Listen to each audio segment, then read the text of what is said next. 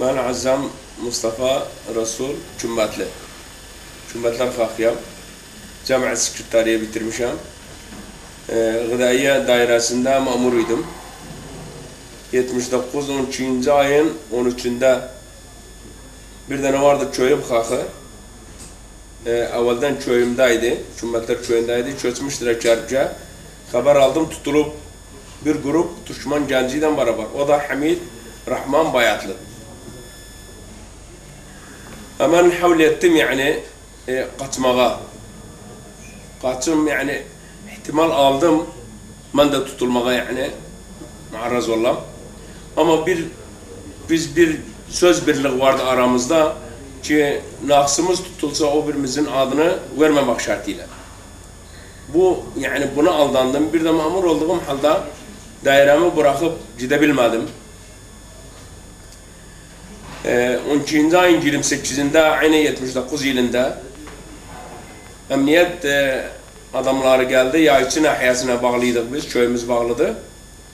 Benden ammim oğlunu Sami Mahmud Resulü apardı.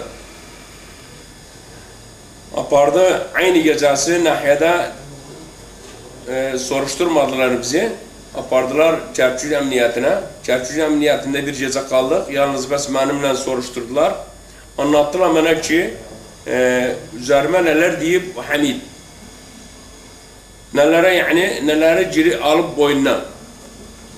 E, beni sorumlu diye tanıyıp bir teşkilatta ve Sami ammim oğlu ilci de aramızda benden özünün. Ama o, o orada kalmadık. Bes bir gece yalnız sabah erken bizi koydular bir otomobile. Ee, yalnız ikimizi apardılar Bağdat'a muhabarat dairesine.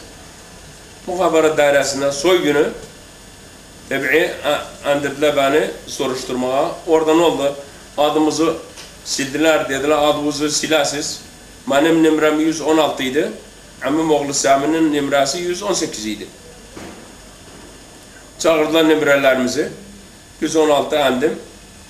Ee, başladılar soruşturmaya benim, benimle. Ee, o zaman e, dediler ilcim nerede Hamid'den? Dedim ilcim bir köylümdü, tanırım özün. Ee, benden de uşaktı yani. Babam da özü. Ama kardeşleri, özüne büyük kardeşleri var babamda. Yani arkadaşlığım var özleriyle. Ama özüne hiçbir ilakatım, ilcim yoktu. Ama e, bu halde ne neye ne girmişti üzerine boynuna almıştı Hamid. Çimen muhtemelen nadide. Türkmen nadisinde muhtemed dedim 74'ten 79'a kimi 80'e kimin ben muhtemed dedim.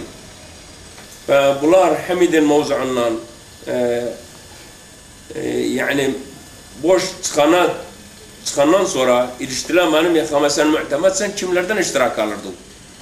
Bize ad ver.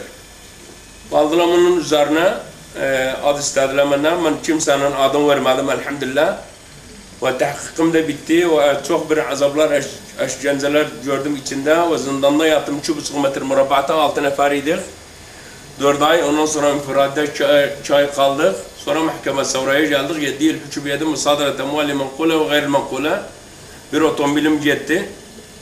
Ve hissem gitti e, babamın damından. Ve müddetim bitirdim. Aflık, hiçbir aflık tutmadım hani. E, müddetim mahpushanada bitirdim. Çıktım. Çıkandan sonra istedim dönüm e, mamuriyatıma, daireme. Dediler sen fasıl olup sen siyasi diye e, daha olmaz dönesen. Çünkü senin üzerine bir emniyet e, işareti oldu.